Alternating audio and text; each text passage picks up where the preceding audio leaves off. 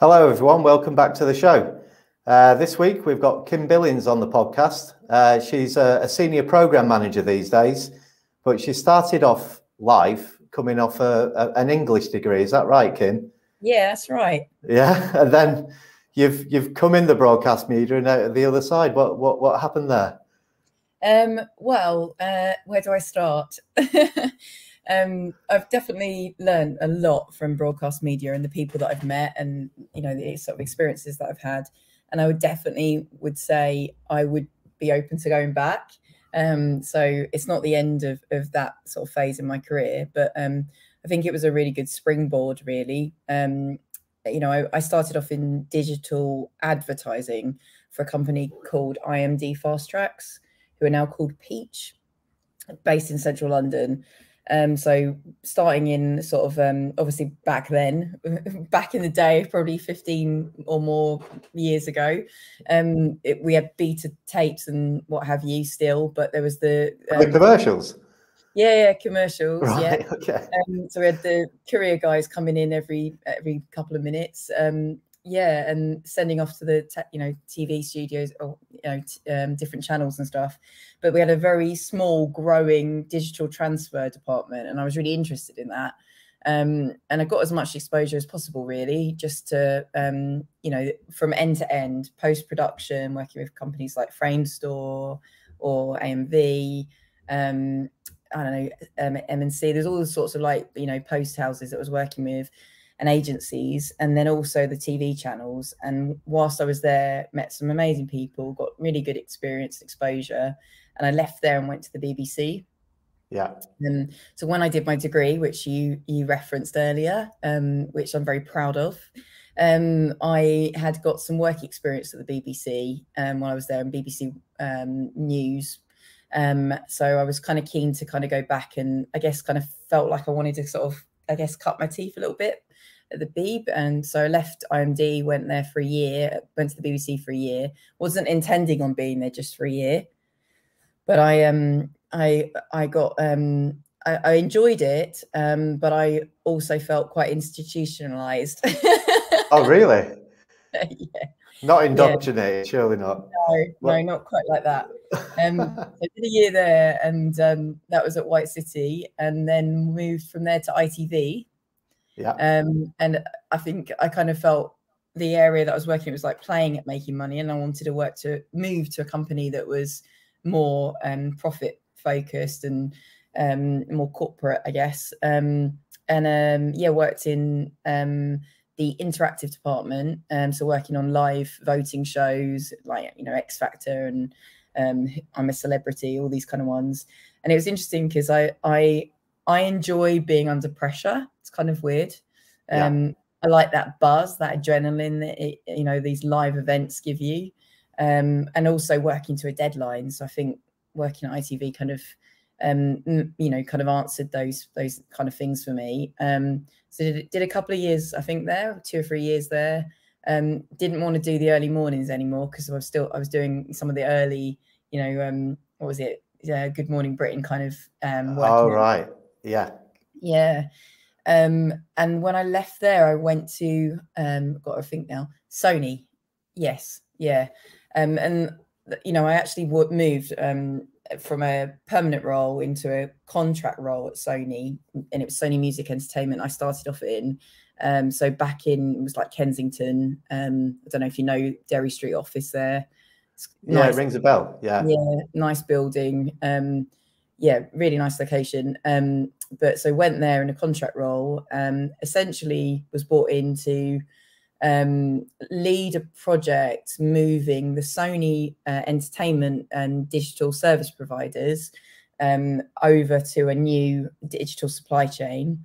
And I won't go into too much detail because I'm sure it's not that interesting. But it was um, it was there was a lot of politics involved because they were moving to this virtual warehouse. Um, platform which was outsourced and there was a lot of technical folks in the sony music you know sphere whatever that um didn't want to outsource this part the, the nice kind of um shiny um digital supply chain they wanted to remain in house um but so it was a it was a lot of politics and a lot of um i'd say like a neg- um, negativity about the change, but obviously I was brought in to kind of manage through that.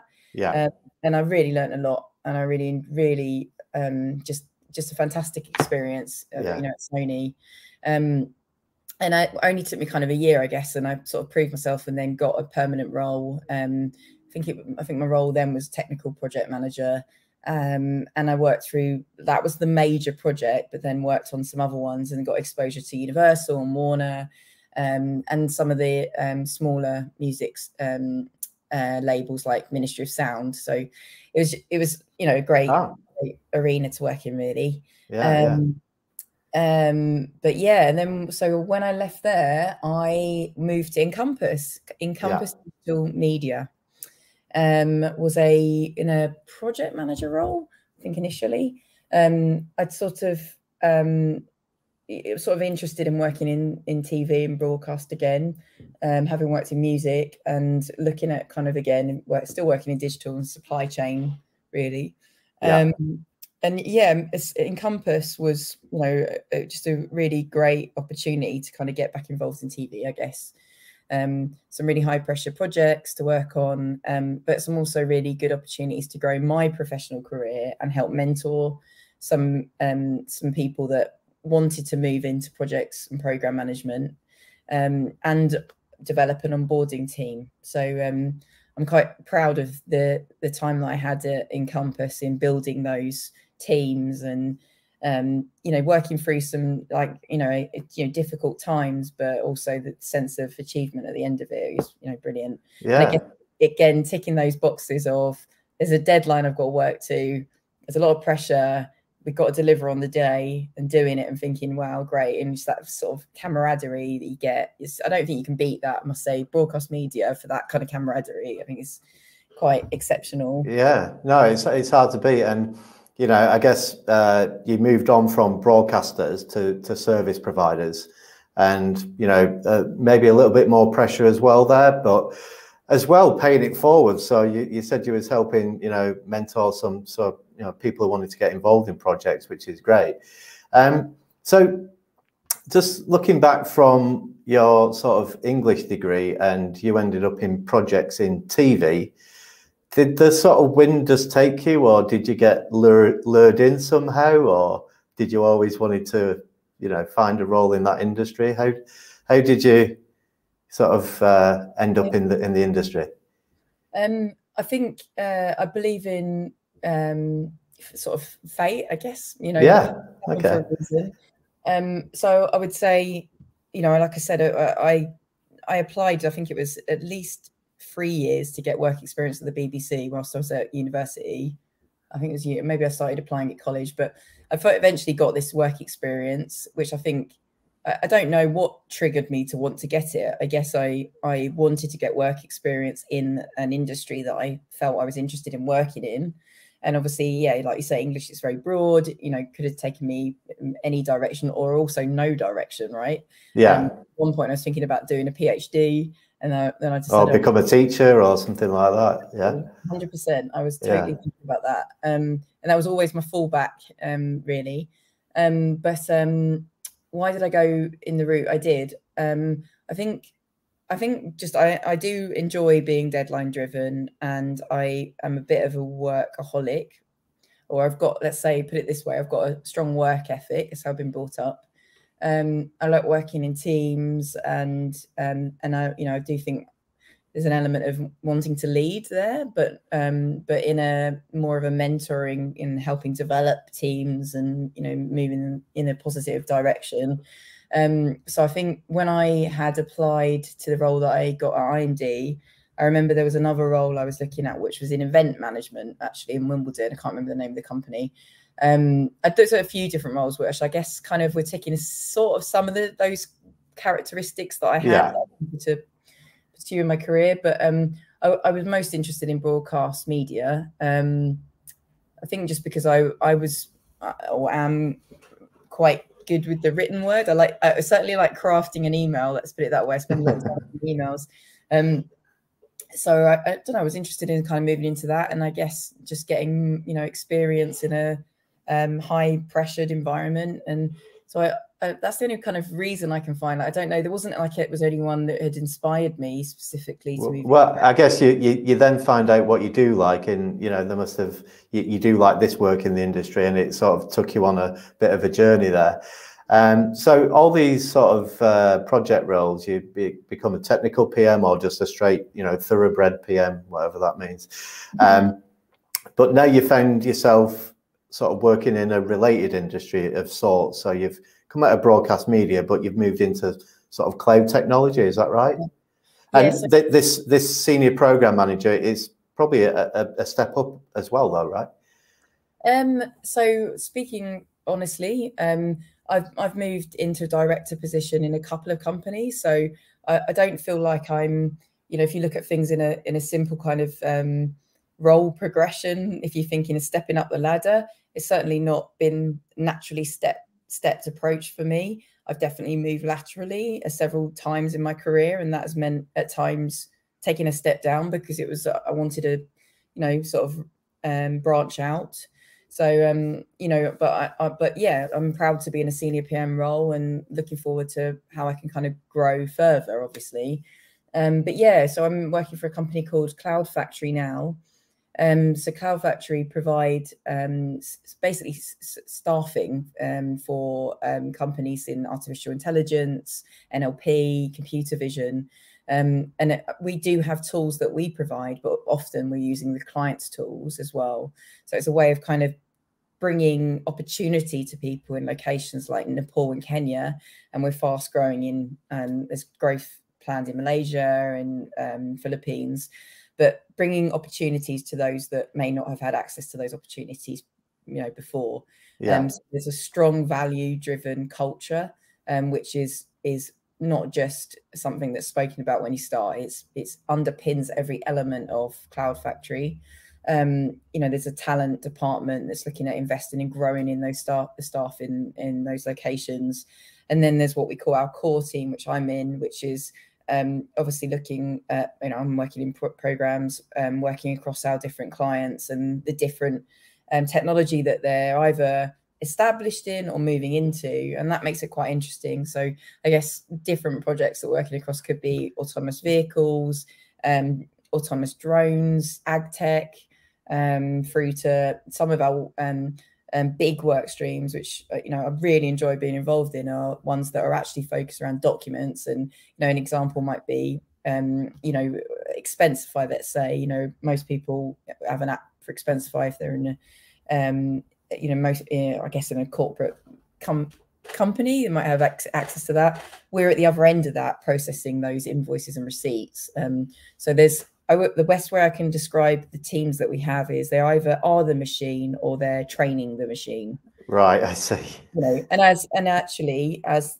you know, the the that it's like was it like a it's the pendulum's changing and whatever. The, the you know, it's much more focused on training the machine to be intelligent and and to make um you know to make intelligent decisions and, and what have you and then being really the, hum- the human layer to check and quality control that the output is sufficient.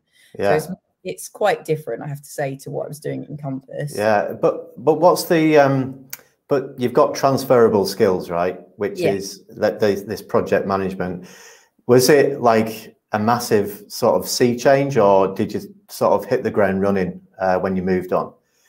Um, okay, interesting. So the change of a sort of industry and use cases wasn't a sea change. The change from a, a, internationally established company to a company that's essentially moved from being a startup and they're in this muddy middle, which you know they're very open about.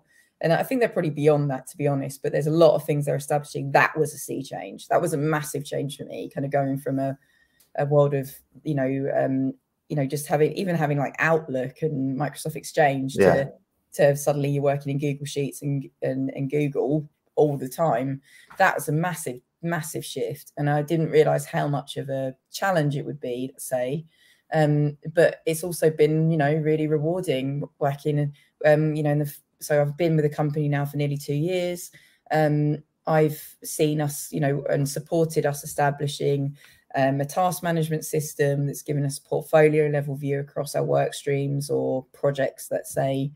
um, you know, the company's doing you know fantastically well. You know, growing you know really um, despite COVID, they've weathered that storm and continue to grow. Um, and I'm enjoying the fact that we're starting to really kind of um, build up our specialisms and expertise in areas, um, yeah. which a real asset to companies that want to develop, you know, their technology. Yeah. So excited about. I'm excited about what the next, you know, six months looks like at Cloud Factory.